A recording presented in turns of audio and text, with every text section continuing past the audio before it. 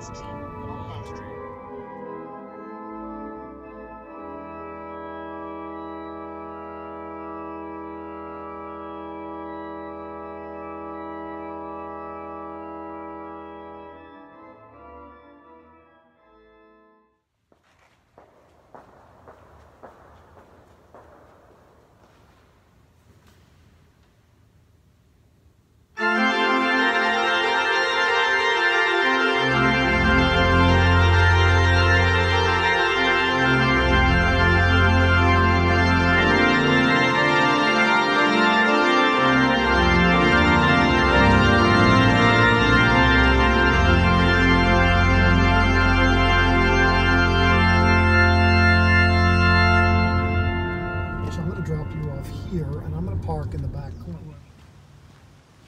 I got a ride from Matthew Bellocchio to 192 Broadway Street.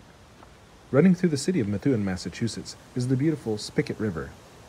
This spot is scenic enough to attract the average passerby. Located on the banks of this river, however, is a musical treasure unknown to many. I just arrived at the Methuen Memorial Music Hall. Take a look. From the outside, the relative simplicity of this turn of the century red brick structure belies the grandeur of its interior. The music hall was formerly known as the Serlo Organ Hall. It took 10 years to build and was completed in 1909 to house the Walcker Opus 200 pipe organ. The exterior architecture is primarily in Anglo Dutch style.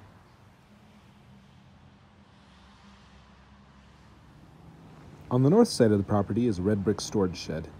This is where the Walcker pipe organ was stored while Serlo Organ Hall was being constructed. The dirt lot on the south of the building was once the location of the Methuen Organ Factory. The organ builder James Treat was located here. Ernest M. Skinner later operated the factory from 1936 to 1942. The building was eventually abandoned and burned down in June of 1943. Matthew is one of the trustees of the Methuen Memorial Music Hall. He also works for the Andover Organ Company, which has participated over the years in the care and upkeep of the organ in the hall.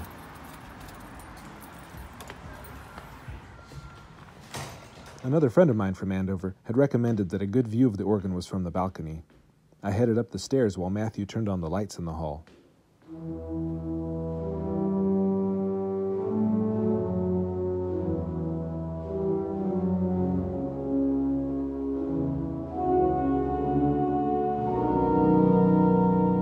Magnificent case of this organ was the inspiration for another instrument I grew up hearing and seeing. Joseph Ridges had used it as a template when designing the tabernacle organ at Temple Square in Salt Lake City. The majestic design of the case parallels the absolutely ornate interior of the music hall itself. It's no wonder that it took 10 years to complete this magnificent structure. The walls and ceiling draw one's eyes upward towards the staggering detail of carved designs, sculpted figures, windows, and busts of famous composers.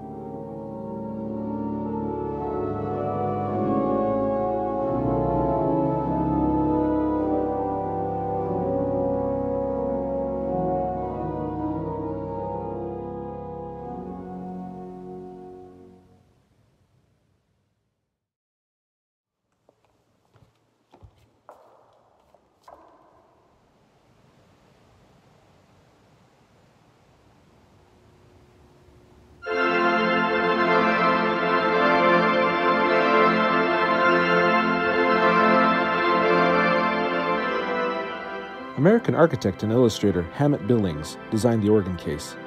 His design was realized by the master craftsmanship of the Herter brothers, Gustav and Christian of New York City. One could spend literally hours exploring the nuances of depth and detail in the case. The intricate woodworking is indicative of the Herter brothers' unparalleled craftsmanship that went into all of their creations. How fortunate indeed that this case should house the very first concert organ in the United States.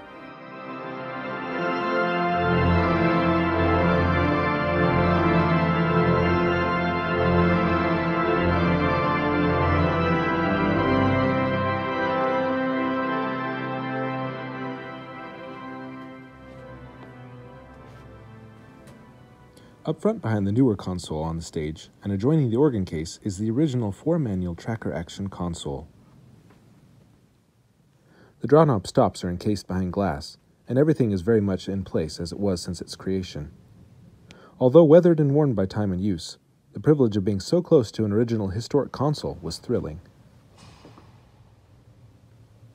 The newer, movable 1947 Aeolian Skinner console sits out in front on the stage. It has a number of adjustable combination pistons, both general and divisional, as well as a plethora of divisional couplers and supercouplers. The pedal board is flat. The swell and choir both have expression pedals. There's a crescendo pedal, as well as a toe stud, which engages full organ. There are 85 stops, controlling 5 divisions, 116 ranks, and a total of 6,088 pipes. You can see the manufacture plate from Aeolian Skinner, as well as an opus plate with G. Donald Harrison's signature on it.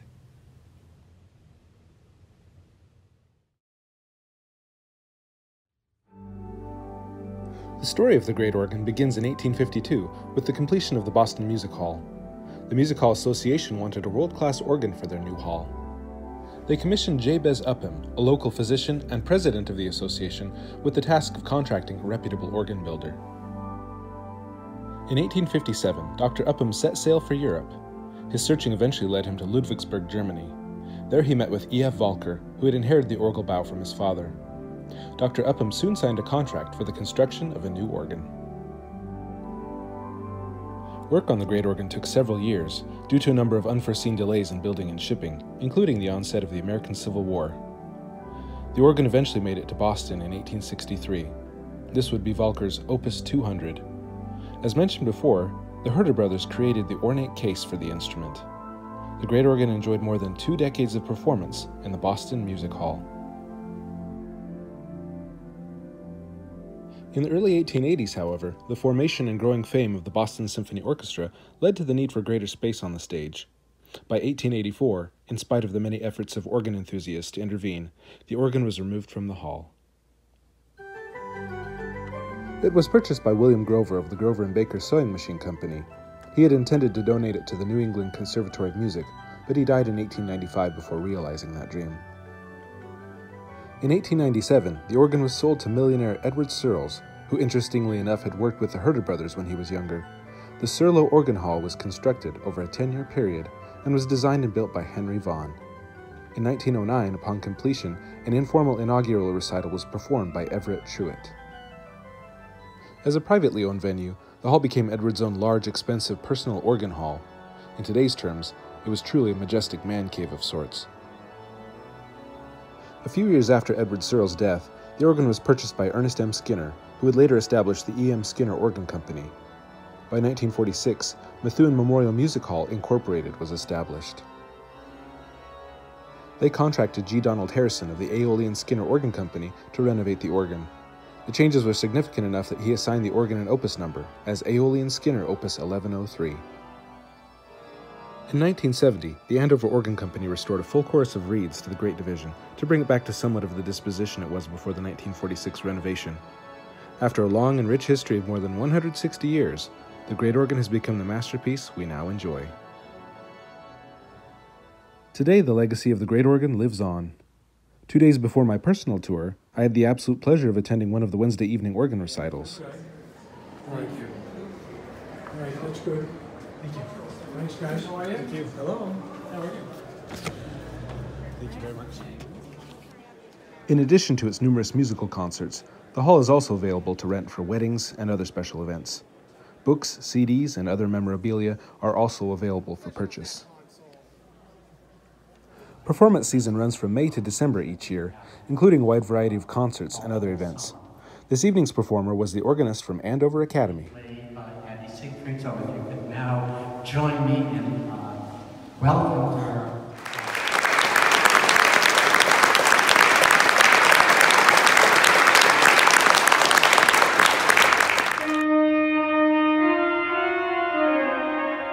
From May to August is the Wednesday evening recital series, featuring organists from all over the globe over the course of 15 weeks. The Music Hall website has lists of the many organists who have performed in the hall over the past century. The Methuen Memorial Music Hall is a private nonprofit organization established to preserve the great organ. It also hosts the Methuen Young People's Theater each summer.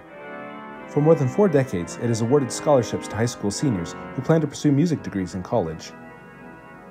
The music hall is maintained by a board of trustees filled with men and women who dedicate hours of time and effort toward one ultimate goal to preserve the legacy of the Methuen Great Organ.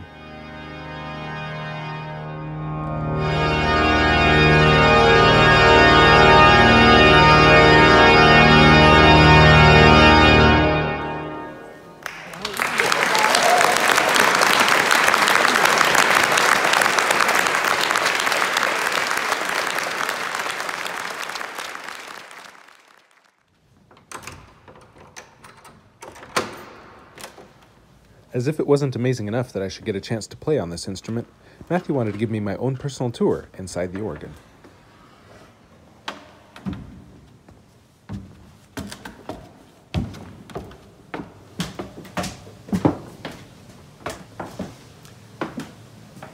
We're inside the great organ. This is one of two levels of reservoirs, double-rise reservoirs. Over here, this is the old electro-pneumatic combination action that Aeolian Skinner put in. It's been superseded by a solid-state combination action, but it's been kept here for historical purposes.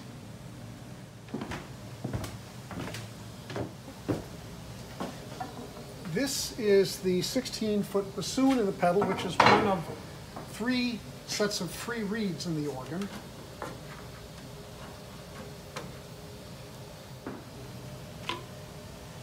Here's the free reed. It's not a beating reed, but it's a free reed. And it's tuned by screwing the rod in or out with this gigantic uh, tuning cube. In this corner are the boots of the 32-foot Contra Bombarde, which is also free reed.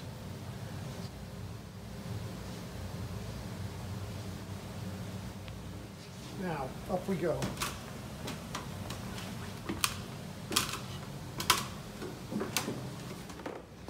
This is the choir division. And you see the, the three reeds immediately to the left. There's the, eight-foot uh, clarinet,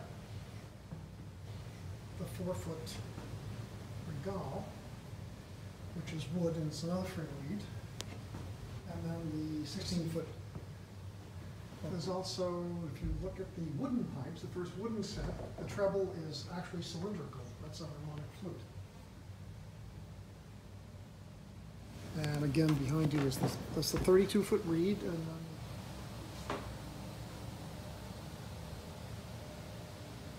low C is the one in the corner. Way there. Now for the best parts.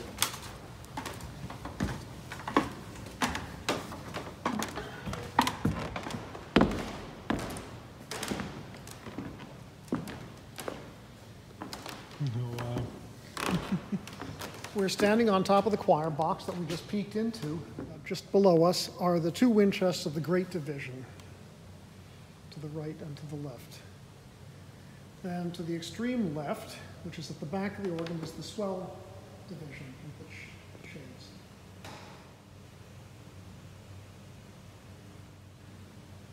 And then immediately beyond the two great chests at 90 degrees is the positive chest.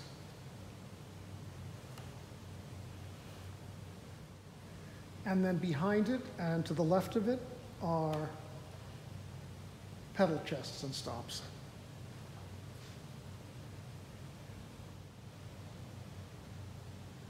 Every part of this organ is reachable.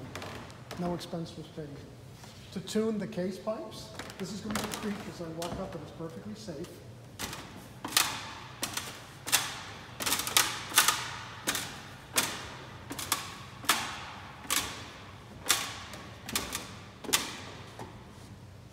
This is how we tune the lowest notes with the facade.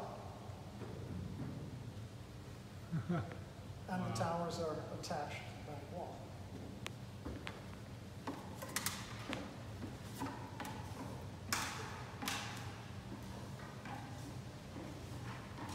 This is the pedal. Uh, two and two-thirds, two-foot, and mixture, which were added by Aeolian Skinner. Well, the pedal upper work chest, that chest was added by Aeolian Skinner. The largest pipe in the tower is low F of the 32-foot principal in the pedal. So this is the C sharp side, so low C sharp is a wooden pipe in the tower, and D is this wooden pipe standing there. And if you look to the other side, the C side, low C is inside the tower, and then D and E are inside against the wall. So F is the largest tin pipe in the side, 32 foot F. So we have a, dub, a double rise reservoir and another double rise reservoir, and they are ganged together with iron bars. So they work in tandem, so it's double rise, double bar, double, double rise, double ganger. This was the original stock list.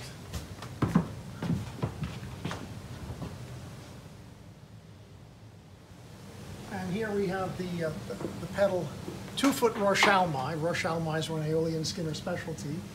And then the trumpet-shaped resonators, that's the four-foot clarion in the pedal. Those resonators are from the original Walcker organ. All of the Walcker trumpets were shaped like that with, uh, with bells on them.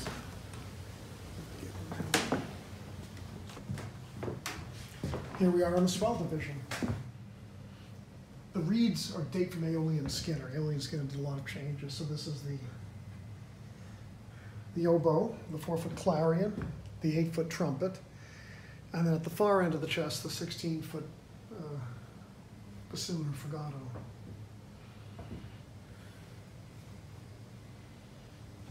Follow me.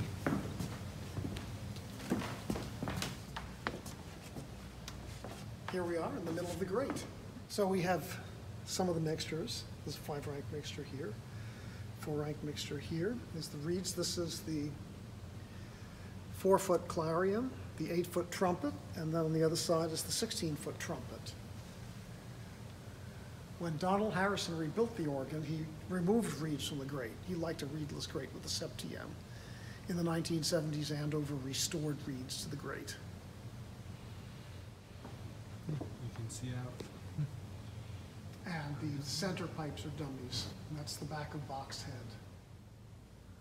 How fitting indeed to end the tour of such an amazing instrument next to the image of one of its greatest composers. Walking through the great organ impressed upon me once again the staggering scope of such an instrument, something of monumental scale composed of such intricate detail. It truly was an experience of a lifetime.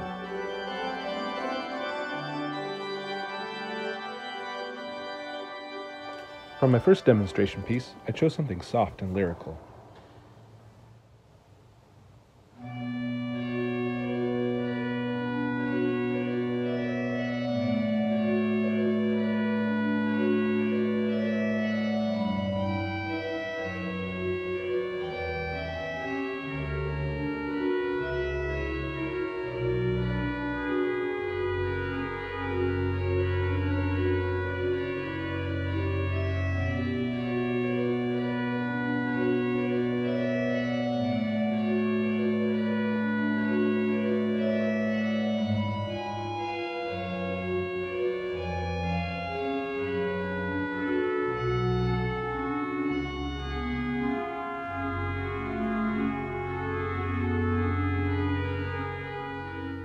Next, I chose a piece to demonstrate the organ's crescendo capabilities.